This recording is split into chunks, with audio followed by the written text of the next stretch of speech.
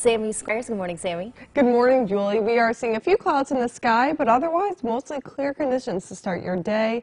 Now, it's pretty nice right now, but going into the afternoon, we're going to see more and more of these clouds building back into the picture. Now, temperatures are in the lower 50s. We're talking 53. We'll experience Scranton and even some 40s up on the board as well. 46 in Williamsport as well as Selinsgrove and 49 in Pottsville over the next few hours, taking our temperatures a little bit warmer, mostly sunny to start your day, and then a few clouds by the afternoon, 70 degrees around noon.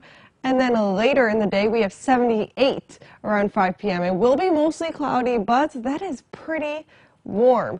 Now, it's uh, going to be a little bit windy at times as well, especially going into the second half of the afternoon. Wind gusts as high as 19 miles per hour from the southwest. So a warm and a little bit of a windier day, but going into tonight, we'll see the clouds stay with us and even a late isolated shower later on tonight.